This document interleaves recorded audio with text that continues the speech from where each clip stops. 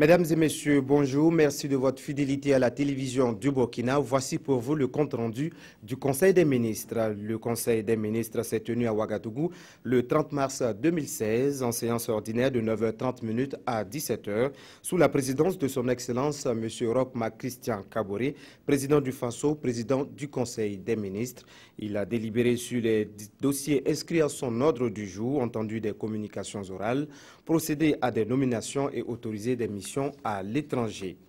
Délibération au titre du ministère de la Justice, des Droits humains et de la Promotion civique. Le Conseil a adopté un décret portant création d'établissements pénitentiaires. L'adoption de ce décret vise à régulariser la situation juridique des établissements pénitentiaires existants conformément au texte en vigueur.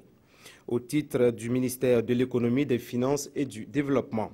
Le Conseil a adopté deux décrets et deux rapports. Le premier décret porte organisation du recensement général de la population et de l'habitat RGPH du Burkina Faso en 2016 d'un coût global de 19 882 211 331 francs CFA. Ce recensement vise la mise à disposition du Burkina Faso et de la communauté internationale des informations d'ordre démographique, social et économique pour les besoins de développement de l'école, pour les besoins de programmes de développement et pour la formulation de la politique économique et sociale du gouvernement. Le Conseil a instruit les ministres en charge du dossier de prendre les mesures idoines pour l'organisation de ce recensement. Le second porte réglementation générale de l'utilisation des véhicules de l'État et de ses démembrements ainsi que des autres organismes publics. Son adoption vise à optimiser l'utilisation et la rationalisation de la gestion des véhicules de l'État. Le premier rapport porte sur le plafonnement des crédits de consommation alloués au ministre et au président d'institutions. Son adoption vise à maîtriser la facture de consommation des personnalités de l'État, à rationaliser les dépenses de fonctionnement et à réduire le train de vie de l'État. Le Conseil a donc décidé de plafonner les crédits en deux classes. 400 000 francs CFA par mois pour la catégorie 1, composée de son Excellence Monsieur le Président du FASO, de son Excellence Monsieur le Premier ministre, du ministre d'État, du ministre chargé de la Défense, du ministre chargé de la Sécurité et du ministre chargé des Affaires étrangères. 200 000 francs CFA par mois pour la catégorie 2, composée des présidents d'institutions et des autres personnalités ayant rang de ministre. Le second porte sur les mesures d'économie des dépenses de consommation d'eau, d'électricité et de téléphone des administrations publiques. La mise en œuvre de ces mesures vise à assainir le cadre réglementaire de gestion des factures d'eau, d'électricité et de téléphone de l'État et à faire des économies financières substantielles sur le budget de l'État. Le Conseil a instruit tous les départements ministériels de prendre les dispositions nécessaires pour une application effective de ces mesures. Au titre du ministère de la Santé, le Conseil a adopté un décret relatif aux mesures de gratuité des soins pour les femmes et les enfants de moins de 5 ans. L'adoption de ce décret permet de donner un cadre réglementaire global à ces mesures. Au titre du ministère de l'Agriculture et des Aménagements hydrauliques, le Conseil a adopté un rapport relatif à la 19e édition de la Journée nationale du paysan JNP la 19e édition de la Journée nationale du paysan se tiendra les 28, 29 et 30 avril 2016 à Tenkodogo, dans la région du Centre-Est, sous le thème Agriculture lutte contre le chômage, développer et soutenir l'entrepreneuriat agro-silvo-pastoral, halieutique et phonique. Le Conseil a instruit les ministres en charge du dossier de prendre les dispositions idoines en vue d'une organisation réussie de la Journée nationale du paysan édition 2016. Au titre du ministère des Infrastructures, le Conseil a adopté un rapport relatif à la mise en œuvre du volet travaux à haute intensité de main-d'œuvre IMO.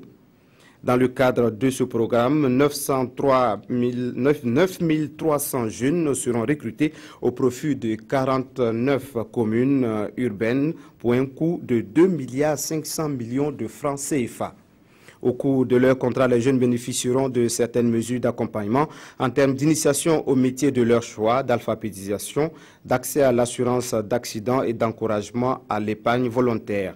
Le Conseil a instruit les ministres en charge du dossier de prendre les dispositions nécessaires pour la mise en œuvre du volet travaux IMO pour l'année 2016 au titre du ministère de l'Énergie, des Mines et des Carrières le Conseil a adopté un rapport relatif à la situation des autorisations et des titres miniers au Burkina Faso à la date du 31 janvier 2016. La situation des autorisations et des titres miniers se présente ainsi qu'il suit. 731 permis de recherche, dont 311 valides, 64 en cours de renouvellement, 316 expirés et 40 permis renoncés. 18 permis d'exploitation industrielle de grandes mines, dont 11 mines en production, 4 en construction, 3 mines en arrêt de production. 36 permis d'exploitation semi-mécanisée d'or, 419 autorisations d'exploitation artisanale, dont 51 valides et 368 expirées, 65 autorisations valides d'exploitation des substances de carrière. Le Conseil a instruit les ministres en charge du dossier de prendre les dispositions idoines en vue d'assainir les données du cadastre minier et de mettre les superficies ainsi libérées à la disposition des nouveaux investisseurs miniers nationaux et internationaux au titre du ministère de la Femme, de la Solidarité nationale et de la Famille. Le Conseil a examiné un projet de loi portant protection et promotion des droits des personnes âgées. Ce projet de loi vise la, mise, la prise en compte des droits spécifiques des personnes âgées afin d'améliorer leurs conditions de vie. Le Conseil a marqué son accord pour la transmission du projet de loi à l'Assemblée nationale. Communication orale le ministre des Affaires étrangères, de la coopération et des Burkinabés de l'extérieur a fait au Conseil une communication suite au conflit intercommunautaire survenu à Bouna dans le nord-est de la Côte d'Ivoire, ayant entraîné 12 morts de nationalité burkinabé et 1550 déplacés dans la province du Numbiel. Le gouvernement burkinabé a saisi les autorités ivoiriennes pour que la sécurité de nos compatriotes vivant dans ce pays, frères et amis, soit assurée le Conseil euh, national de secours d'urgence et de réhabilitation qu'on a su apporter les premiers secours aux victimes, constitués en majorité de femmes et d'enfants. Une délégation gouvernementale a été dépêchée sur les lieux pour témoigner de la, de la compassion du gouvernement et du peuple burkinabé, présenter ses condoléances aux familles éplorées et évaluer la situation. Le ministre de la Santé a fait au Conseil une communication relative à l'accident survenu à la maternité du centre hospitalier universitaire Yalgado Ouedraogo et a entraîné le décès de Mme Zorata Pamtaba, Nana dans la nuit du 15 au 16 mars 2016. Le Conseil déplore cette situation et présente ses condoléances à la famille éplorée. Il a instruit le ministre de la Santé pour que l'inspection des services sanitaires diligente une enquête en vue de situer les responsabilités et prendre les mesures appropriées pour que pareille situation ne se reproduise plus dans une formation sanitaire. Le ministre des Sports et des Loisirs a fait au Conseil une communication relative à la participation des étalons au match éliminatoire de la Coupe d'Afrique des Nations Gabon 2017. Les étalons ont battu en match aller les Cranes d'Ouganda le 26 mars 2016 au stade du 4 août et arraché un match nul face à la même équipe le 29 mars 2016 en Ouganda. Le Conseil félicite les étalons pour cette performance qui les place en tête de leur groupe et les encourage à poursuivre dans cette dynamique afin d'obtenir leur qualification pour la Cannes Gabon 2017. Nomination à présent nomination dans les fonctions individuelles au titre de la présidence du FASO. Monsieur Adama Compaoré, ministre plénipotentiaire première classe 13e échelon, est nommé ambassadeur extraordinaire plénipotentiaire près l'État de Qatar avec résidence à Doha. Monsieur Mathias Assomé, médecin, est nommé directeur du bureau de suivi du programme présidentiel. Monsieur Étienne Zongo, administrateur des services financiers, première classe 13e échelon, est nommé directeur des marchés publics au titre du Premier ministère. M. Magloire Sommet, professeur titulaire, catégorie P1, troisième échelon est nommé conseiller spécial en remplacement de M. Nicolas Zemané. M. Adama Ibia, ingénieur en génie civil, est nommé conseiller spécial, cumulativement directeur général de la maîtrise d'ouvrage de l'aéroport de Donsin-Moadé. M. Mahamadou Zongo, enseignant-chercheur, maître de conférence catégorie P2, deuxième échelon, est nommé conseiller spécial en remplacement de M. Oumarou Nao. M. Mamadou Diara, enseignant-chercheur maître de conférence, est nommé conseiller spécial en remplacement de M. François-Xavier Bambara. M. Draman Milogo, conseiller des affaires économiques, première classe 14e échelon, est nommé conseiller spécial en remplacement de Mme Maimouna Ouattara Tombiano. M. Constantin Dabiri, expert en partenariat public-privé, est nommé conseiller spécial.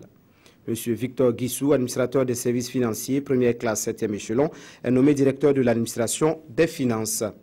M. Sansan Unkun Kambou, ingénieur statisticien, économiste, première catégorie, 4e échelon, est nommé directeur du suivi et de l'évaluation.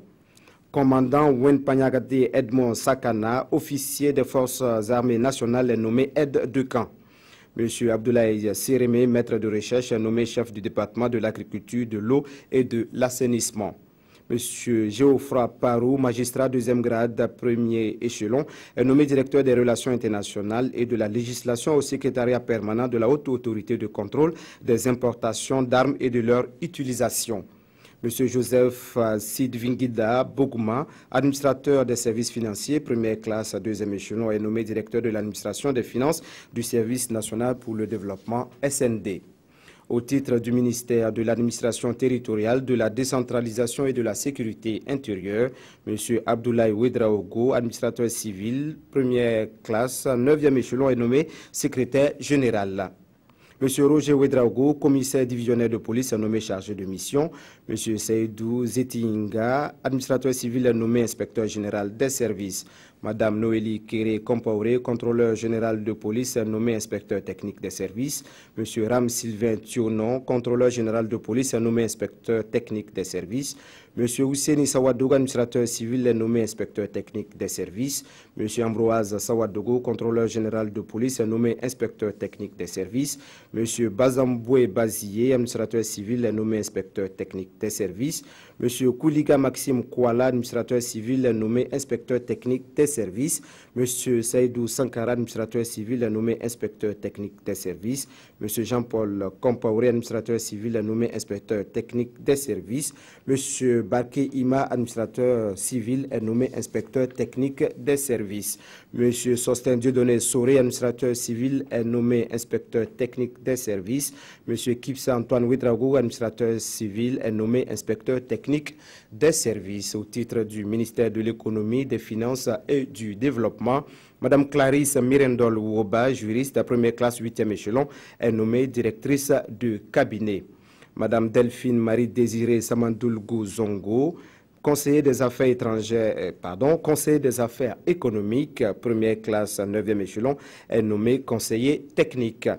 Monsieur Adama Badolo, inspecteur des impôts, première classe 14e échelon, est nommé directeur général des impôts. Monsieur Lamoussa Salif Sanouidi, commissaire principal de police, est nommé membre de la cellule nationale de traitement des informations financières CENTIF pour un premier mandat de trois ans. Monsieur Rasmane Ouedrago, officier de police, est nommé membre de la cellule nationale de traitement des informations euh, financières CENTIF pour un premier mandat de trois ans au titre du ministère de l'Enseignement supérieur, de la Recherche scientifique et de l'Innovation. M. Jean-Noël Poda, directeur de recherche, classe exceptionnelle, est nommé conseiller technique au titre du ministère de la Jeunesse, de la Formation et de l'Insertion professionnelle. Mme Jeanne-Marie Françoise Yadougo Lofo, deuxième classe, neuvième échelon, est nommée conseiller technique au titre du ministère du Développement de l'économie numérique et des postes. Monsieur Nebouaoga Kazmi Kabouri, économiste première classe 7e échelon, est nommé secrétaire général. Monsieur Hugues Christian Lengani, administrateur des services financiers première classe 5e échelon, est nommé directeur général des études et des statistiques sectorielles. Voilà, c'est tout pour le compte rendu du Conseil des ministres de ce 30 mars. Le compte rendu du Conseil des ministres est signé Monsieur le ministre de la Communication et des Relations avec le Parlement, porte-parole du gouvernement, Rémi Fulgence d'Andieno.